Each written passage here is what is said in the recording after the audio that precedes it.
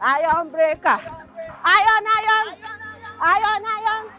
Iron breaker. Iron breaker. Kabara santere baba. Kesere baba baba. Lebre baba santere baba baba. Keşekere baba. Bakre baba baba santere baba. Wake up. He knows the mighty name of Jesus. Be set free in the mighty name of Jesus. Parabola kabastia vos. All things have passed away. Behold, all things have become new. So if the word of God can minister to him, what God cannot do does not exist. Does not exist. Praise the Lord. Bless you, sister. Good evening. Who is your sister?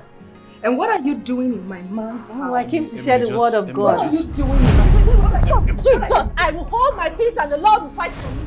Lord of oh, Jesus. look at Lord of Jesus. Lord of Jesus. Stop, can you stop? What's your